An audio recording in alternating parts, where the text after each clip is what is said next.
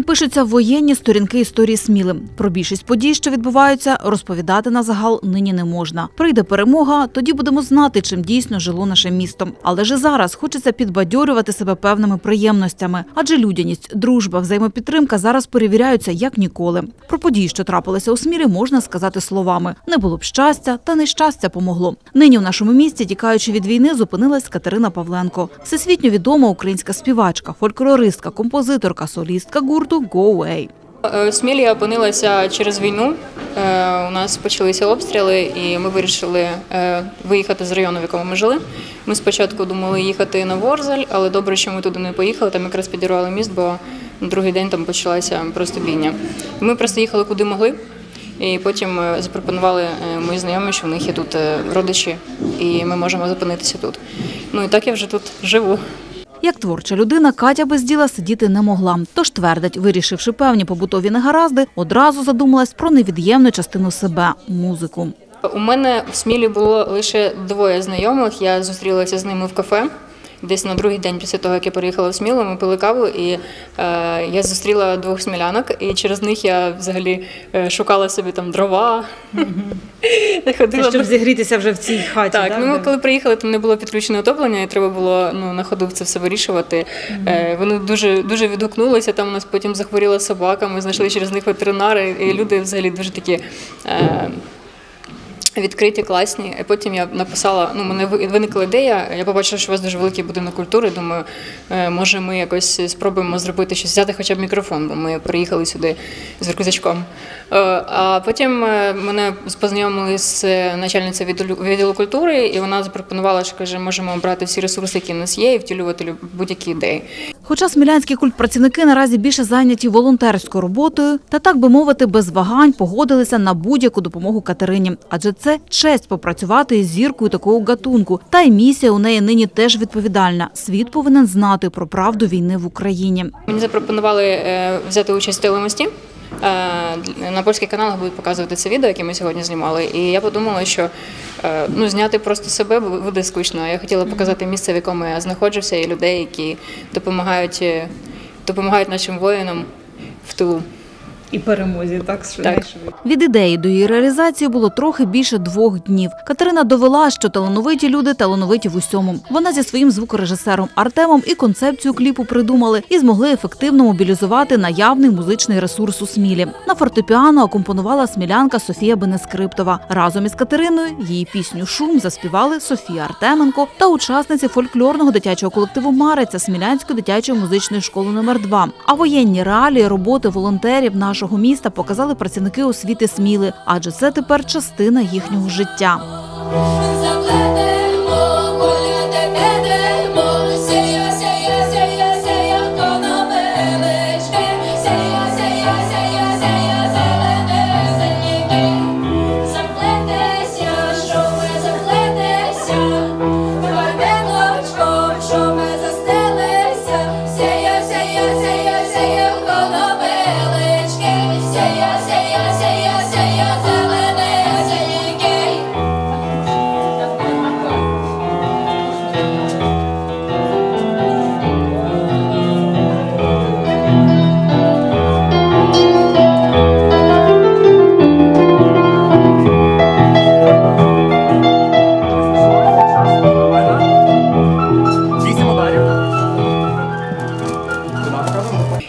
І ми запланували зробити таке. Вони все організували дуже класно.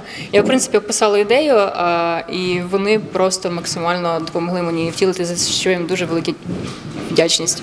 І це дуже короткі терміни, скажімо. Е, Так, це зробили буквально за два дні.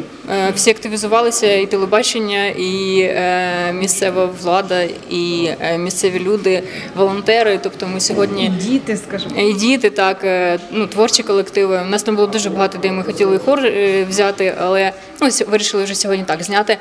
Е, Стільки класних локацій. Ми показали просто майже всіх, всі волонтерські роботи, які проводяться тут, і дуже класно. Е, Як ви зіспівалися з нашими маленькими солістками? Ой, заспівалися дуже швидко, до речі. Ми вчора буквально потренувалися, і е, діти дуже талановиті, дуже швидко все схоплюють на ходу. І ми буквально за годинку репетиції зробили все. Катерина зізнається, їй вже не звикати знімати свої кліпи у пристосованих польових умовах. Ми ж на Євробаченні ми два роки е, були в карантинних умовах, і тому всі відео, всі е, весь контент, який ми відправляли на Євробачення, ми робили була е, основне, якби. Завдання зробити це в домашніх умовах, але ми в домашніх умовах е, умудрялися зробити прям дуже класно, щоб щоб це було цікаво, цікаво по картинці. Тому однокадрова зйомка і так в одній локації для мене це не перший раз. Які емоції нині, коли вже от відзнялися, процес завершився. Ой, дуже класні емоції. Взагалі, коли ти завершуєш якусь роботу, то е, ну, відчуваєш якесь таке не те, що полегшення, відчуваєш, що ти переходиш на новий рівень, адже це новий досвід, і е, особливо коли ти доводиш щось до кінця, то це дуже багато енергії дає. Якщо для відомої співачки це енергія, то для всіх учасників зйомок це були незабутні хвилини позитиву у наших воєнних реаліях. А для юних смілянських співачок це взагалі був приємний шок.